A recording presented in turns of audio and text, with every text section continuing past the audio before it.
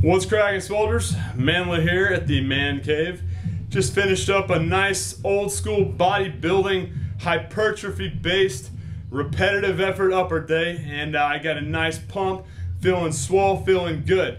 Now, about repetitive days, and um, I gotta address this because this is something I address at every one of my seminars, and I've already had to address with all the people that have already started the swole system. It's that the number one goal for repetitive effort days is hypertrophy. And um, when you take into account that I preach and harp on proper form, it kind of um, it kind of contradicts what I might be saying with the repetitive effort days. Because if you notice, in my clip that I'm going to show later in this video that my form kind of goes to shit at the end of my set. And um, like I said, it goes kind of counter to everything I preach about with proper form.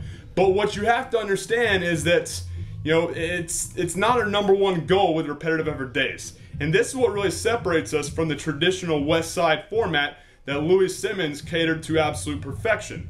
And um, that's, that's, our goal for repetitive effort days is number one, hypertrophy. And what you have to understand is this. If that's our number one goal, then you you got to realize that your form is going to go to shit later on in the set. If, if you're not really worried about hypertrophy getting bigger, then completely scrap the repetitive effort. But if you're trying to get jacked, you know, put on a lot of muscle, then you have to focus on those hypertrophy-based days that we address with the repetitive effort. So just know this, form will go to shit However, it's not um, it's not for out. I mean, it's not without the purpose of, of building something in, in spite of that. So just know this: if you're trying to get jacked, you got to incorporate those repetitive effort days that will kind of lead your form to go to shit. However, it's going to build work capacity. It's going to get you jacked, and it's ultimately not going to matter as much because let's face it with dynamic effort and max effort, you're going to be mastering your form, and it's not like you're going to forget that.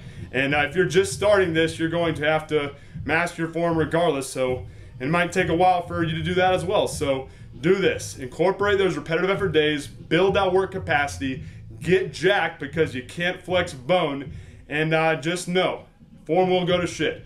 But that's not our number one goal for repetitive effort days. It's to get jacked. So check out my uh, check out what I did today and just realize Form goes to shit in the later rounds. If you don't want to get jacked, scrap the repetitive effort. If you do want to get jacked, suck it up, do repetitive effort days, and just know that come max effort and dynamic effort days, form has got to be on point. Have any questions about the Swole system or any seminars that I'm doing or the personal online coaching that I offer, contact me. Drop, click the link below. Let me know what you think if you have any questions. But Click the link below. If you haven't gotten on the Swole system, you got to do it now. Don't wait for tomorrow. Tomorrow's never going to come. Don't procrastinate. Be an action taker. Kick ass. Take names. Have a good night, soldiers. Mandler. Out. Inclination is to become a monkey,